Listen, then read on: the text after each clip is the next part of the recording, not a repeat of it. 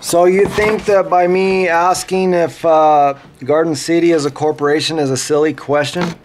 No, but but asking Garden City if you have to have a birth certificate doesn't make much sense. Why why would you ask somebody that?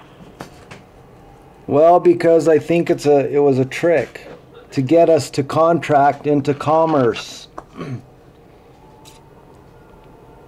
you know, no since idea what you're talking about. But Well- but if you if you get contacted by the police, you have to show identification. Or if you want a business license, you have to show identification. oh, okay. Where does it? Other than that, statute we don't says it? care. If you want to vote, you have to show identification. Um, yeah. Well, um, well, see, like uh, Colorado Revised Statute 25 2 112 says a certificate of birth for every live birth must be filed with the state registrar, but it doesn't say that you have to fill it out. It just says that one has to be filed.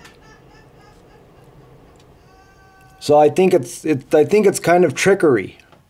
Why are you asking us that? That's a state issue. Yeah, well, here's the thing that I I wonder about is as you're, you know, if I was to ride my bike with no light through Commerce City, which is a city, and then a sheriff pulls me over and uh, he wants to see an ID, and so now, I mean, how can he do that if that's a state issue? I mean, are you guys using state stuff to operate within the city? So I'm confused as to jurisdiction of uh, of the state and federal government in the local city. The, the city is, is uh, uh, authorized by the state to exist and given certain Yeah, powers they've- by the state. Yeah, they've been chartered, right? That's, in some states they call it that, yes. Yeah, I mean, even all states have adopted the Uniform Commercial Code. What does that have to do with anything? Well, what I think's happening is that, uh, you know, yeah, there's a legal language. It's called legalese, and they use words that mean have different meanings. And I believe that what they're doing is uh, the powers to be, which are the international bankers, because you know we're indebted to them, and we ran out of collateral in '33. So. Um,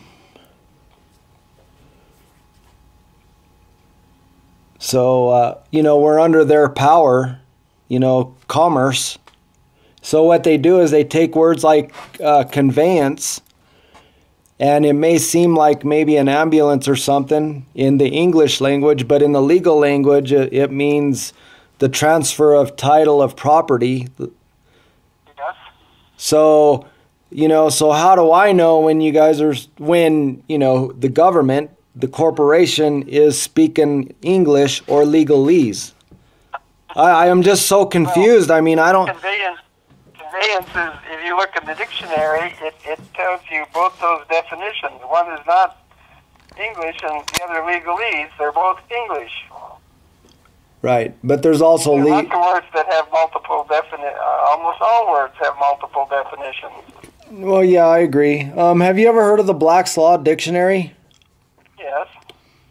You know, the word person uh, means legal fiction and it also means corporation. Uh, could be. Yeah. Well, so what I'm what I'm trying to figure out is how do I know what definition you're using when I come in contact with with uh, the corporation, also known as the government? Well, can't. I don't. I don't know. You have to. You have to figure that out from the context in which the word is used. Yeah. Well, I think I have figured it out. Um, I d- I think that uh, when you sign the birth certificate. That you're willingly and voluntarily giving up your child and you're transferring the owner from yourself to the state, then the state creates a legal fiction by which the the person gives up their sovereignty and they hand it over to the state which the state now allows now the state has control of you, so you have to pay them taxes. And it's voluntary because you volunteered to contract. You're contracting with the driver's license, with the social security card. You're voluntarily giving up your rights and you're trading your rights for privileges. Well, I'm going to run. I, I can't carry this discussion on any further, so I Um, can't. I can't help you any further. Um, for what purpose? Why? Is it is it out of your knowledge, or I mean, just yeah, I have no idea what you're talking Oh, about. I- okay. I, I don't. I have no idea. I can't Yeah. answer your okay? question. Well, maybe you might be able to answer this. Is uh, all the states have adopted the Uniform Commercial Code. So, in what purpose do we does uh, the state use that code? Is it strictly for commerce? You know, like corporations? All I've ever used it for. Okay.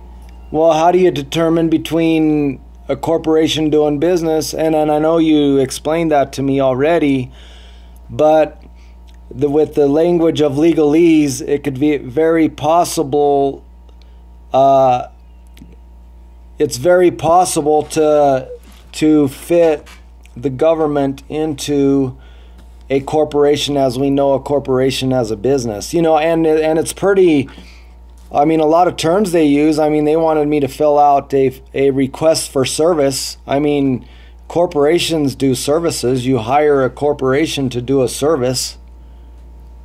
And in fact, that's what all the language is saying in English. Municipal is a corporate, uh, takes on corporate um, uh, status, and then corporate relates to corporations. So, I mean, it could easily, very easily be transformed into the law of commerce. What do you think? I've never given it any thought. Yeah. Well, I've given it a lot of thought. Because, I mean, I didn't think it was right for there to be a language that the meanings were hidden from me. You know, I think that that once a government, an entity, or anything starts hiding things from you and starts to withhold information that at that point the people that you're dealing with are are crooked and their fraud can be exposed. I've got to get. I've got to get back to work. All right, well thank you now. Don. I appreciate your Bye. time. Bye-bye.